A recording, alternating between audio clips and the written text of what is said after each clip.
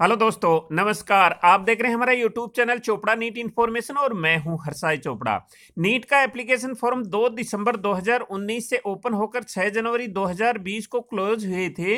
इसी बीच इंटरनेट की काफ़ी प्रॉब्लम हुई थी। किसी किसी स्टेट में तो इंटरनेट की सेवा काफ़ी दिनों तक बाधित हुई थी। इस कारण काफ़ी स्टूडेंट नीट ट्वेंटी का एप्लीकेशन फॉर्म कंप्लीट करने से वंचित रह गए थे। किसी किसी स्टूडेंट का तो पेमेंट बैंक अकाउंट से कट गया था, मगर एनटीए तक पहुँचा ही नहीं, इस कारण उनका एप्लीकेशन फॉर्म कंप्लीट नहीं हो सका। तो एनटीए ने उन कैंडिडेट के लिए फॉर्म दोबारा से ओपन करने की प्लानिंग की है, जिनका स्टेप वन कंप्लीट हो चुका है। इस विषय पर एनटीए ने नीट की वेबसाइट पर एक पब्लिक नोटिस डाला है।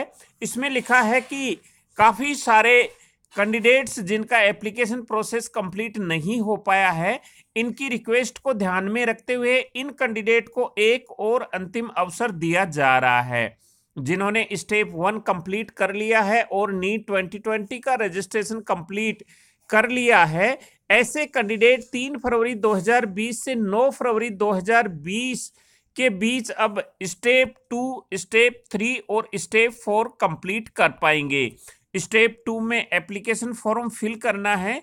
स्टेप थर्ड में इमेज अपलोड करना है, स्कैन करके, और स्टेप थ्री में पेमेंट क्लियर करके फिर कंफर्मेशन पेज का प्रिंट लेना है।